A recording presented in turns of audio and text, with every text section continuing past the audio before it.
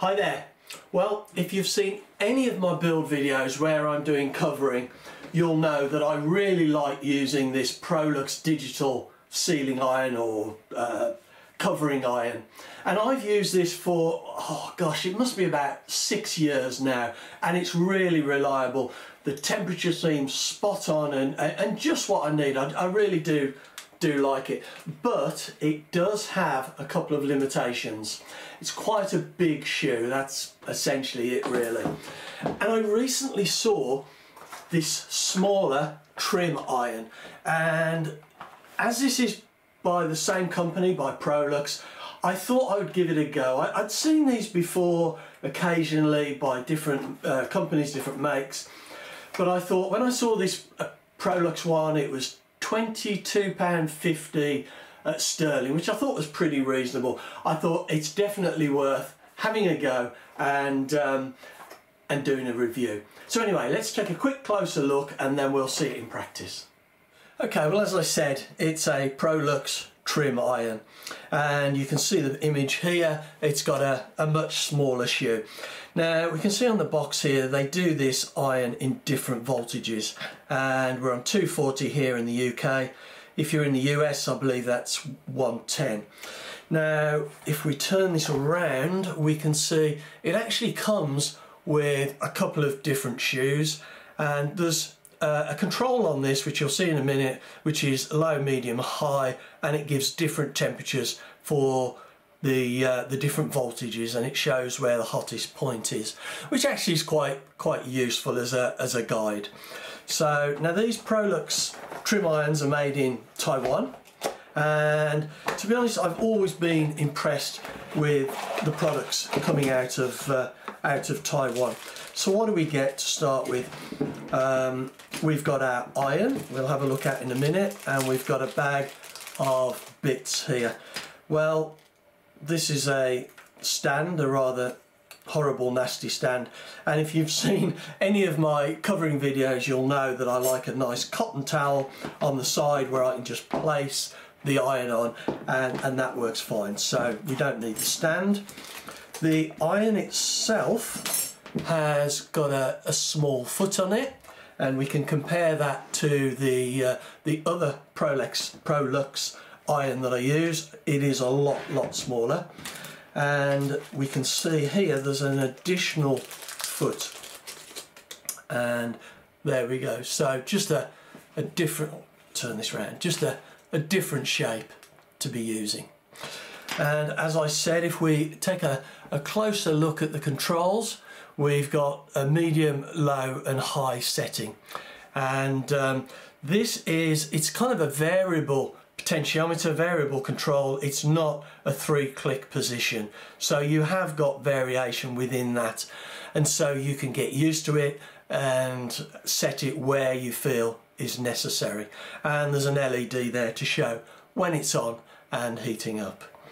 So let's have a look at this in practice now now you can use the iron for doing around an access hatch like this where you've got a really small recess and you need something small like the tip of this iron to get in.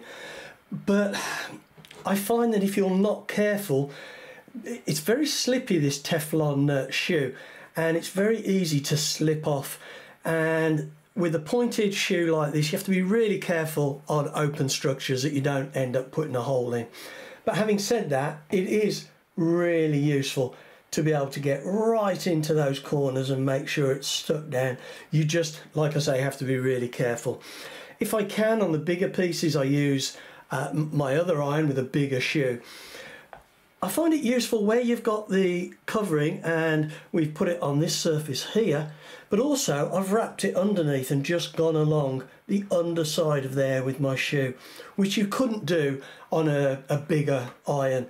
So that is really, really useful.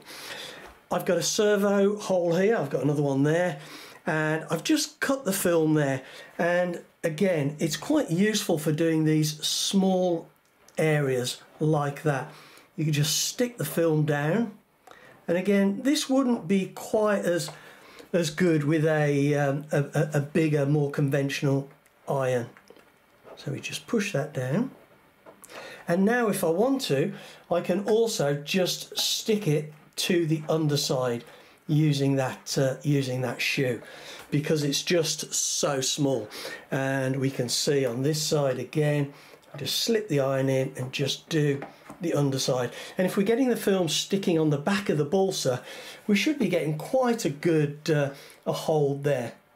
Not that it will particularly come loose with um, with a, once the servo's in it but you can see there how we're getting right into the corners.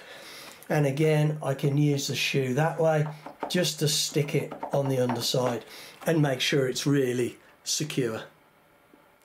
Right now I've also got some slots here and I, have just just cut that with this uh, the scalpel.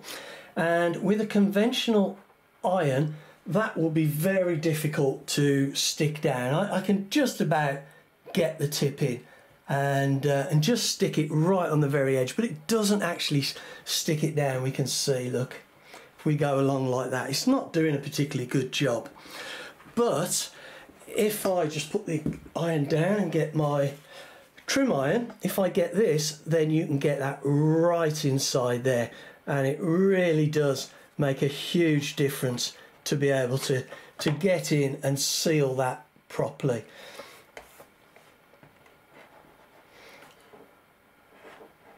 There we go.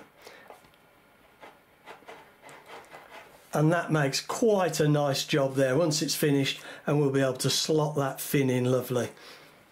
Well, there you go. And you can see from that bit of footage of it being used that I actually really like this iron. It, it's, it's just gets into those little corners and the, the small slots and even the underside of balsa, like where I was putting that servo in. And I, I just absolutely love this. Like I said it's a little bit slippy. So if I'm covering a wing if I'm doing a bit on a wing and I'm worried about slipping I put my hand at the side sometimes just to to be careful just so that if it does slip I'd rather it hit my fingers than hitting a, a, a part of the wing and putting a hole in with that uh, that point. But I do really like this iron. And to be honest if um, if something happened to it tomorrow I would go out and get another one because I have found it really, really useful. So anyway, I just thought it'd be worth doing a quick review and showing you my thoughts and how this uh, trim iron works. I've actually covered two models now where I've, I've used this and found it invaluable. So anyway, I hope you enjoyed that. I hope you found it useful. Thanks very much for watching.